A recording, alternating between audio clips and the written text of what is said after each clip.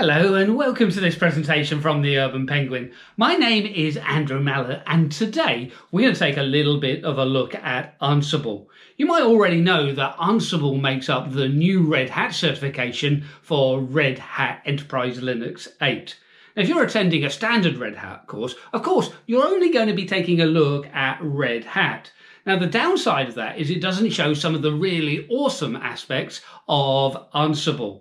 For example, you will go through and take a look at the Yum module to install Yum packages. But what if you're using Ubuntu or what if you're using Arch Linux? They use different package managers. So we could use the Yum module, we could use the PKG module, we could go through and use the apt module. But far better than that is the package module in Ansible. And using the package module, we're going to be able to detect the underlying distribution so that the correct package manager is used to install the software package. Come on, let's go through and take a look at it. Remember, we're helping you learn Linux. So here we are then actually on my Raspberry Pi. We won't be using the Raspberry Pi to deploy packages to, but we're going to be using it as our Ansible controller. We'll actually be working with a couple of remote systems in AWS. We've got an Ubuntu host, and we can see the IP address there, and a Red Hat host. And these are actually groups that we've set up within our inventory. So the Ubuntu group and the Red Hat group. Now, setting up groups then means that we can start using variables for these groups we need variables just because AWS happens to use different default accounts on their Red Hat systems and their Ubuntu systems. As I say, I happen to be using AWS here, but you could equally be using your own virtualization systems, such as in VirtualBox. It doesn't really matter. But let's go through and take a look at our group variables that we've needed to set up. So when I go through and take a look at the Red Hat, I've set the variable for the Ansible SSH user to be the EC2 user. This is the account that's built into the AWS system on Red Hat virtual machines. Equally, we have a user that we need to specify to connect as, and on our Ubuntu system, that is the Ubuntu account. So this then allows me to connect as different users to each of my systems. When we go through and take a look at the Ansible configuration, we can go through and see that we've got the inventory file and the private key file. I'm also saying don't give me warnings about the Python interpreter. So with that done, we've got the plumbing in place and we're ready to start looking at deploying a playbook.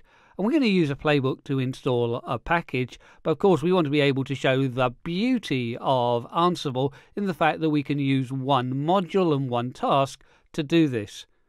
So as I go through, we know when we create a YAML document, it's going to start with the three dashes, so we'll put those in, and then we'll name our play. I'm just going to call it test, it doesn't really matter.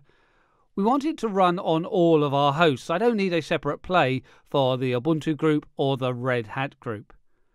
We want to elevate our privileges to install that software, so we're going to put become true.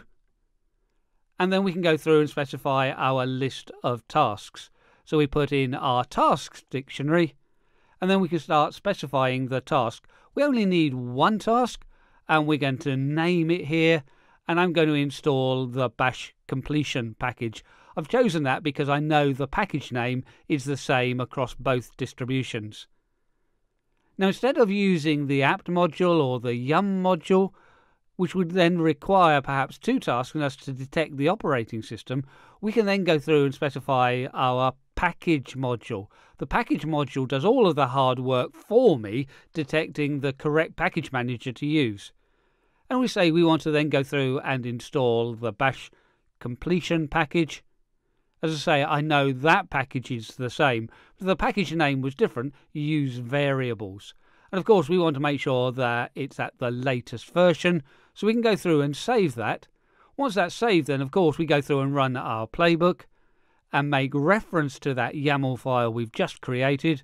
And then hopefully all the magic is going to happen for us.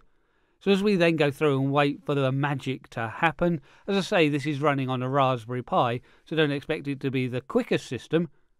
We can see there we're gathering facts. To be honest, we could have disabled that so gather facts equals false. Now we're looking at installing the software. When we go through and look at the results, well, on the Ubuntu system, it was installed, but on the Red Hat system, it wasn't installed by default. So we can see then those results coming back, and we can see how awesome Ansible can be in allowing us to lessen the amount of work we need to do to obtain the same result.